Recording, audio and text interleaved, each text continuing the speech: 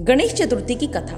गणेश चतुर्थी भगवान श्री गणेश के जन्म तिथि से जुड़ी हुई एक कथा अत्यंत लोकप्रिय है। कहा जाता है कि एक बार माता पार्वती स्नान करने जा रही थी। उस दौरान उन्होंने अपने शरीर पर लगे लेप अथवा मैल के ज़रिए एक काया बनाई और उसमें प्राण डाल दिए ताकि उनके द्वारा बनाया गया बालक द्वार पर पहरेदारी कर सके। यही बालक भगवान श्री गणेश थे, जिन्हें माता पार्वती ने अपने शरीर के लेप से निर्मित किया था। माता पार्वती ने गणेश जी को आज्ञा दी कि वह द्वार पर ही रुककर पहरेदारी करें और किसी को भी अंदर आने की अनुमति ना दें। इतना कहकर माता पार्वती अंदर स्नान करने चली गई और भगवान श्री गणेश द्वार पर पहरेदारी करने लगे। कुछ समय बाद भगवान शंकर आए और द्वार से अंदर प्रवेश करने लगे।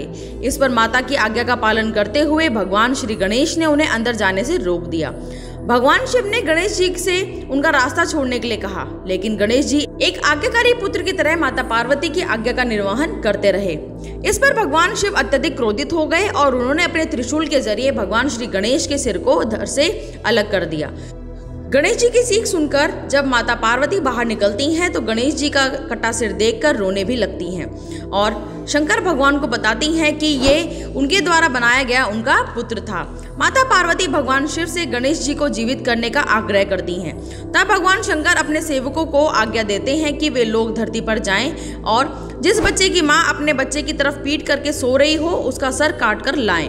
जब भगवान शिव के सेवक पृथ्वी लोक पर जाते हैं और एक हाथी के बच्चे का सर काटकर वापस कैलाश आते हैं तो भगवान शिव इस गजमुख को गणेश जी के धड़ से जोड़ देते हैं और प्राण मंत्र पढ़कर उन्हें जीवन दान दे देते हैं। इस कारण भगवान गणेश जी को गजानन भी कहा जाता है। तो दोस्तों, ये कहानी सुनकर आपको कैसा लगा? तो क्या आप इसके बारे में जानते थे? हमें कमेंट करके ज़रूर बताएँ।